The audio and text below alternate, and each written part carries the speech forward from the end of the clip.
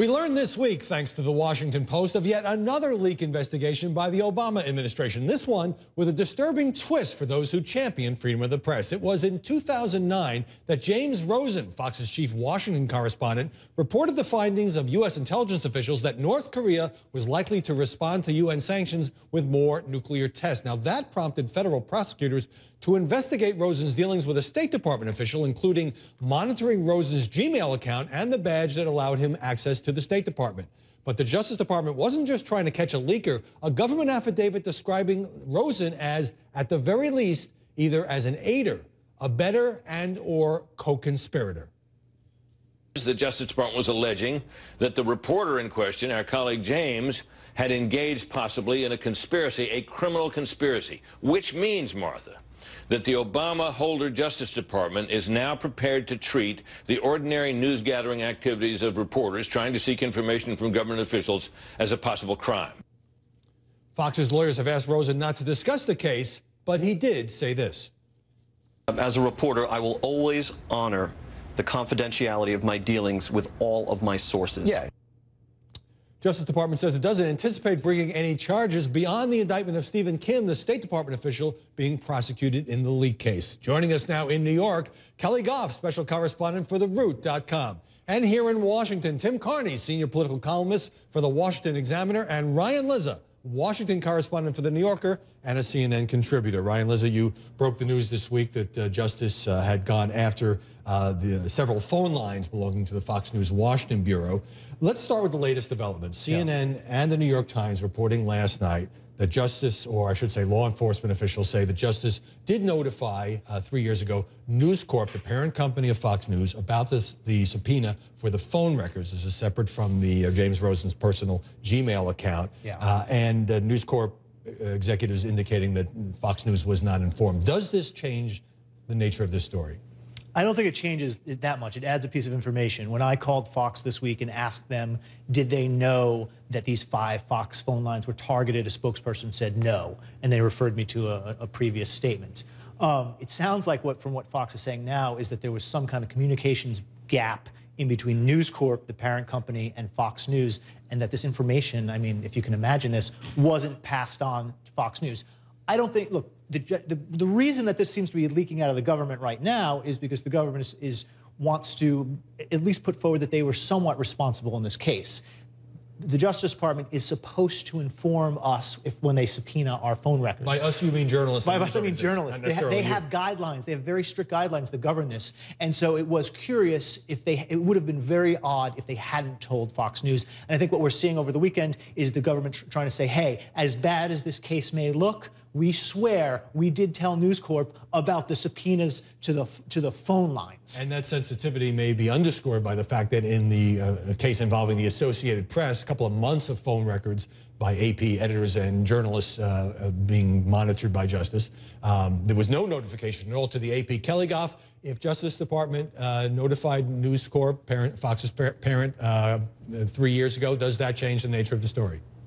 Well, it changes the nature of that specific story, Howard. I don't think it changes the nature of the fact that I think you can't help being a member of the media and not be upset about this. I mean, that's just the reality. Unfortunately, we don't seem to have much backup. And when I say we, I mean members of the media from the rest of Americans. Uh, Pew just released a poll that showed that in terms of news coverage, Americans are following Benghazi um, and the IRS scandal more closely than they're following this scandal, which we're all very concerned about. Now, there are some obvious reasons for that, right? All Americans have to pay taxes. Not everyone has to report news. But I think that ultimately doesn't change the fact that this, I think, could end up being a more harmful story to the administration in the long term than Benghazi or IRS, because ultimately media helps shape the coverage of the administration. And I think there's a huge measure of distrust that's brewing that is not going to go away, particularly as more of these details come out. I, I, think Keli makes a great point that the distrust of Obama, that frankly a lot of us on the right have been saying there should be more of, has really bubbled up in the last few months. It started with, I think, Jay Carney very clearly, the White House press uh, secretary, no relation to me, very clearly trying to be Clintonian with his words, talking about Benghazi, and people realize, their, reporters realize their legs were getting pulled, and then this comes up, and reporters are starting to see not only can we not always trust that the administration is being forthcoming, but that they play hardball. And again, this is something conservatives have been saying since the auto ban. So bailout. you're saying the way- mainstream media are catching up They're- with they're some of you catching up. conservative critics Can about. I, I- can I I- just make, at the risk of, at the risk of uh, being in the position of, you know, the scandal I care about is more important than the scandal you care about. The, the IRS and Benghazi are very important. Long term, though, what the Justice Department did with this search warrant, this is they crossed a line that no administration has ever crossed. The Nixon administration didn't do it. The Bush administration considered doing it, and there was an uproar. But And, they and- went. and- and in let me- talking about yeah. that line, let's make that Yeah. line bright red and Yeah. clear. This search warrant referred to James Rosen, widely respected Fox News correspondent, as a co-conspirator or a potential co-conspirator. He hasn't been charged. He's not going to be charged. It was a Yeah. way of getting at his emails to, to, to track this leak investigation. That, in and of itself, is a sea change, you're saying? is a sea change. And I would actually challenge the, so the last part of that, Howie.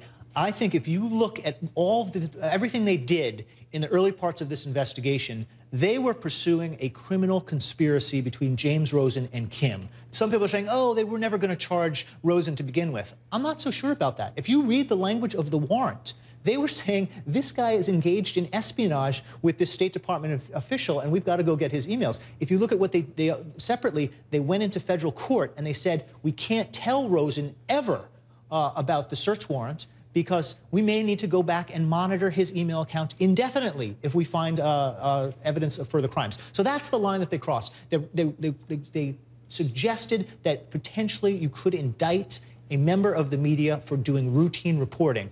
Obama's going to be gone in three and a half years, and this precedent in this search warrant is going to be sitting out there for the next president again, or Justice Department to use. Again, it was News Corp that was notified. Fox News says it did not know about this. Let me read, uh, for those of you uh, following this, uh, a statement. Uh, actually, it's actually a memo uh, to Fox News staff by the uh, chief executive of the network, Roger Ailes, and he says the following: The administration's attempt to intimidate Fox News and its employees will not succeed, and their excuses will stand neither the test of law, the test of decency, nor the test of time. We will not allow a climate of press intimidation unseen since the McCarthy era to frighten any of us away from the truth. Tim. Well, it's certainly an attempt to frighten would-be leakers. That's one of the things that they want to do. Say, if you talk to reporters, we will come after you. And because even if you're using personal emails, even if you're meeting privately to doing this, what the Rosen case shows is that they're going to track you and keep up with you. So I see the attempt to, I don't think they were actually trying to prosecute James Rosen. They had to name him as a possible co-conspirator in order to get around privacy laws, in order to No, but get wait a his second. email. No, wait a second. You, that's you don't just you don't just go to a judge and say, "Oh, we don't really think this guy's a criminal, but we're going to say so in a search warrant because we want to look at his emails." You have to look at the search warrant, the language in the search warrant, and assume that the FBI agent who wrote it meant what he wrote. He said, "We believe he's a co-conspirator here." So I think that's letting the Justice Department off off the hook way too easily. Uh, Keli, I know you want to jump in. Let me just briefly, and I'll, I'll turn the, uh, the microphone over to you. Let me play something that President Obama said in a speech this week where he touched on the controversy because the administration obviously has been getting hammered, including by those of us in the press, for its approach to these leak investigations. I'm troubled by the possibility that leak investigations may chill the investigative journalism that holds government accountable. Journalists should not be at legal risk for doing their jobs. Keli. Well, look, you know it's a bad week in terms of press coverage when the president would rather give a speech drawing attention to one of his biggest campaign promises that he never fulfilled, which is closing Gitmo, because that's a better news story than the other news stories he's having to contend with this week, which are all bad. Um, I think the only upside Jay Carney actually had this week was when he declared his favorite band, which is Guided by Voices, in a profile with the Washington Post. I mean, that was the only kind of up moment the But let me, had. let me jump in here. In, in saying that we should consider, or the administration should consider a media shield law for journalists, which the administration had not supported in the past, um, is the president retreating a bit? And more importantly, uh, do you think that, you know, he says journalists should not be uh, uh, at legal risk for doing their jobs, but doesn't the actions of his own Justice Department and, and Attorney General Eric Holder approve the subpoena in the Fox case? Uh, doesn't the actions of his own Justice Department suggest otherwise?